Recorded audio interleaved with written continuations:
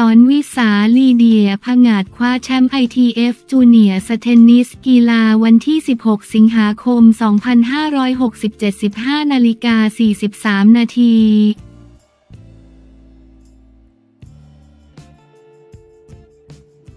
การแข่งขันเทนนิสเยาวชนนานาชาติ เก็บคะแนนเยาวชนโลก ITF World Tennis Tour Junior สัปดาห์ที่ 2 รายการ ITF Junior World Tennis Tour J30 2 หรือ ITF Juniors World Tennis Tour J30 2 ที่ศูนย์พัฒนากีฬาเทนนิสแห่งชาติ เมืองทองธานีจังหวัดนนทบุรี ล่าสุดเมื่อวันที่ 16 สิงหาคม 2567 เป็นรอบชิงชนะเลิศในประเภทคู่โดยนายกฤตชัยเนยโอชา กรรมการอำนวยการสมาคมกีฬาลอนเทนนิสแห่งประเทศไทย ในพระบรมราชูปถัมภ์และประธานฝ่ายผู้ตัดสินเป็นประธานมอบรางวัลแก่นักกีฬา ประเภทหญิงคู่ รอบชิงชนะเลิศนักเทนนิสจากไทยโคจรมาพบกันเอง ทินเพลง สอนวิสากุลพิสารรัฐ จับคู่กับลีเดียพอดโกริชานีลูกครึ่งไทยรัสเซียเป็นคู่มือวางอันดับหนึ่งของรายการพบกับ มายา มายาบุญญาอรุณเนตรและ สบายกมรวันก้อนศิลาคู่มือวางอันดับสองของรายการผลการแข่งขันปรากฏว่าดวลแร็กเก็ตกันได้อย่างสูสีชนิดที่ต้องตัดสินด้วยซูเปอร์ไทเบรก และเป็นคู่ ศรร์วิศา กับลีเดียร์ที่เอาชนะได้อย่างฉิวเฉียด 2-1 เซต ด้วยสกอร์ 4-6 7-5 และซูเปอร์ไทเบรก 12-10 ศรร์วิศากับลีเดียร์ได้ครองแชมป์ประเภทหญิงคู่ได้รับคะแนนสะสมอันดับเยาวชนโลก คนละ 6.25 คะแนน โดยนับเป็นแชมป์ ITF จูเนียร์ในประเภทหญิงคู่รายการแรกของศรร์วิศา และเป็นรายการที่ 7 ของลีเดียส่วนมายากับกมรวันได้รับคนละ 3.25 คะแนนด้านชายคู่รอบชิงชนะเลิศริวโกติกุลนักเทนนิสไทย และคริสเตียนฟานรูเยนจากแอฟริกาใต้คู่มือวางอันดับ 3 ของรายการ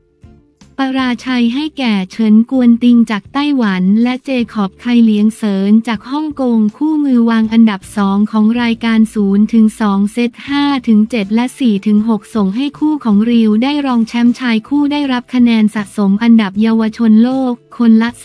3.25 คะแนนส่วนหนุ่มไต้หวันกับฮ่องกงได้ครองแชมป์ชายคู่รับคะแนนคนละ 6.25 คะแนน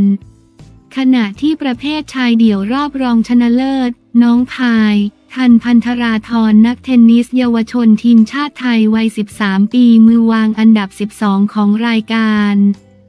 พลิกสถานการณ์จากที่แพ้เซตแรกกลับมาเป็นฝ่ายเฉือนชนะโคเฮทาคาโนะนักเทนนิสญี่ปุ่นวัย 16 ปีได้สำเร็จ 2-1 เซต 2-6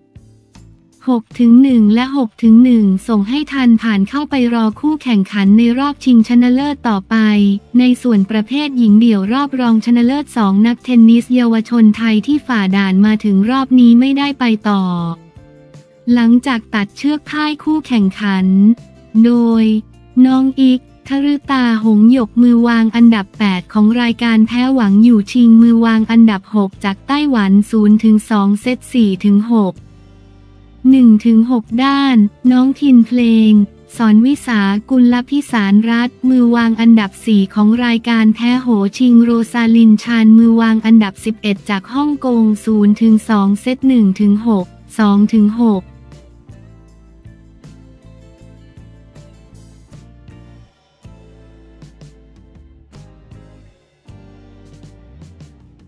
เริ่มแล้ว สภาโหวตนายกรัฐมนตรีคนที่ 31 สรวงชงชื่อ ยิงแพทองทาน แบบไร้คู่แข่งการเมืองวันที่ 16 สิงหาคม 2567 10นาฬิกา40 นาที ประชุมสภาเพื่อโหวตเลือกนายกรัฐมนตรีคนที่ 31 เริ่มแล้วสรวงชงชื่ออิงแพทองทาน แคนดิเดต นายกรัฐมนตรีจากเพื่อไทยให้สภาโหวตแบบไร้คู่แข่งเมื่อเวลา 10 นาฬิกา วันที่ 16 สิงหาคม 2567 ที่รัฐสภามีการประชุมสภาผู้แทนราษฎรชุดที่ 26 ปีที่ 2 ครั้งที่ 15 สมัยสามัญประจำปีครั้งที่1เป็นพิเศษเพื่อพิจารณาให้ความเห็นชอบบุคคลซึ่งสมควรได้รับแต่งตั้งเป็นนายกรัฐมนตรี ตามมาตรา 159 ของรัฐธรรมนูญ โดยมีนายวันมูฮัมหมัดนอมทาประธานสภาทำหน้าที่ประธานการประชุมเนื่องจากสารรัฐธรรมนูญมีคำวินิจฉัยให้ความเป็นนายกรัฐมนตรีของนายเศรษฐา ทวีสินสิ้นสุดเฉพาะตัว จึงทำให้ตำแหน่งนายกรัฐมนตรีว่างลงนายสรวงเทียนทอง สสสแก้ว พักเพื่อไทยเสนอชื่ออ่อน สแพทองทานชินวัตรเป็นผู้สมควรได้รับการแต่งตั้งเป็นนายกรัฐมนตรี โดยมีผู้รับรองด้วยการกดบัตรแสดงตนจำนวน 291 คนถือว่าครบเกิน 50 คนโดยไม่มีผู้เสนอชื่อชิงตำแหน่งทำให้มีเพียงนางสาวแพทองทานเพียงคนเดียว ในวันมูฮัมหมัดนอชี้แจงว่าจากนั้นเป็นขึ้นตอนการลงคะแนนเนื่องจากมีบุคคลเสนอชื่อเป็นนายกรัฐมนตรีเพียงคนเดียวแต่จะต้องมีการลงมติจำนวนเกินกึ่งหนึ่งของสสที่มีอยู่ จำนวน 493 คนคือต้องมากกว่า 248 คนสำหรับการโหวตจะทำโดยเปิดเผยขานชื่อลงคะแนนทีละคนก่อนเริ่มการโหวตเลือกนายกรัฐมนตรีปรากฏว่า ทั้งสสพักเพื่อไทยและสสพักประชาชน ต่างไม่ยอมกันถกเถียงกันไปมาจะให้อภิปรายหรือไม่ทำให้เสียเวลาไปร่วม 30 นาที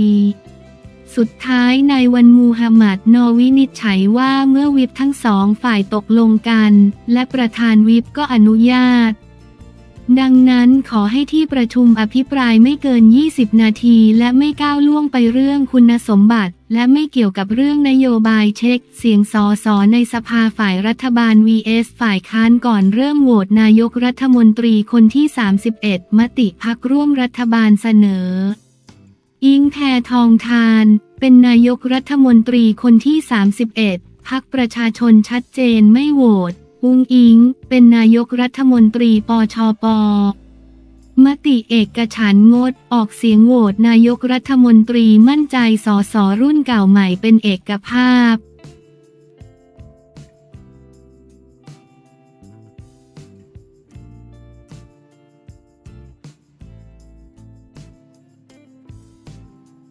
มิตรภาพนักกีฬาไทย เฟรมธนาคารโพสต์คลิปแก๊งโอลิมปิก เต้นยับระหว่างรอเปิดงานกีฬาวันที่ 16 สิงหาคม 2567 10นาฬิกา34 นาที เฟรมธนาคารชัยยาสมบัตินักกีฬาจักรยานทีมชาติไทย โพสต์คลิปบรรดานักกีฬาชุดสู้ศึกโอลิมปิก 2024 รวมตัวแดนซ์ระหว่างรอเข้าร่วมงานอีเวนต์พร้อมกัน เมื่อช่วงเย็นวานนี้ วันที่ 15 สิงหาคม 67 มีการจัดการงาน Welcome Back Thai Team ขอบคุณที่สุดแห่งนักกีฬาไทย เพื่อต้อนรับและขอบคุณนักกีฬาที่เข้าร่วมมหกรรมกีฬาโอลิมปิก 2024 ปารีสเกมส์ที่ศูนย์การค้าสยามพารากอน ซึ่งมีนักกีฬาทีมชาติไทยหลายคนเข้าร่วมโดยเฟรมธนาคารนักกีฬาจักรยานทีมชาติไทยได้โพสต์คลิปบรรดานักกีฬาเช่น ปอป้อ ทรัพย์สิรี แต้รัตนชัยนักกีฬาแบดมินตันบีจันทร์แจ่มสุวรรณเพ็งเหรียญทองแดง มวยสากล เฟี้ยว จุฑามาศจิตรพงศ์เอสทีวารีรยาสุขเกษมแดนซ์กันแบบเมามัน ระหว่างรอเข้าร่วมงานจากคลิปของเฟรมธนาคารที่โพสต์พร้อมกับแคปชั่นระบุว่าข้างนอกเปิดงานข้างใน no สนเต้นกันฉ่ำมากขอบคุณพี่ๆทุกคนนะครับ ชีวิตเฟรม complete แล้วด้านบีจันทร์แจ่มก็ได้โพสต์คลิปร่วมกับเฟี้ยวจุฑามาศที่ชวนปอป้อ ทรัพย์สิรีมาเต้นร่วมกันพร้อมข้อความระบุว่า อย่าอยู่ใกล้นักมวยนะคะ ชวนเต้นหมดนะคะ 55,555